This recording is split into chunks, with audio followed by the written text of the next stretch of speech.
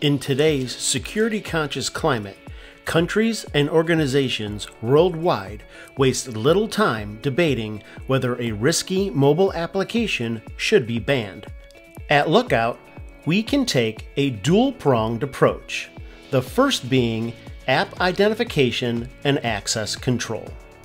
By using Lookout Mobile Endpoint Security and a mobile device management solution, we can add TikTok to a deny list.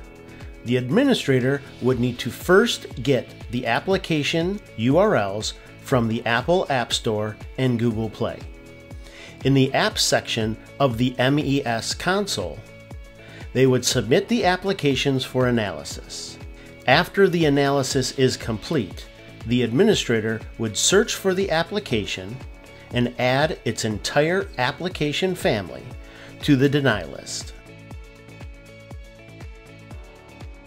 In the protection section of the MES console, the administrator would need to locate the policy type of application and the classification of denied list apps and set the response to block domains and alert.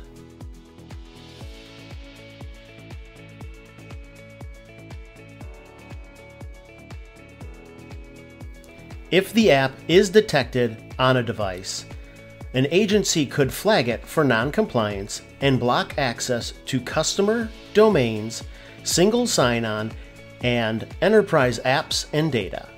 The user would need to remove TikTok before regaining access to the company's resources. The second approach blocks TikTok by flagging a set of root domains.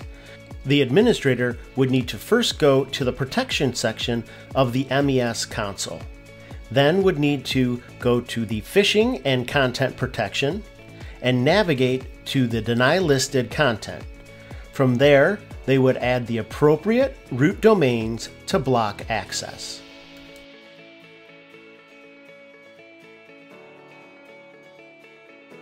An end user would then be notified of the blocked content and access would be denied.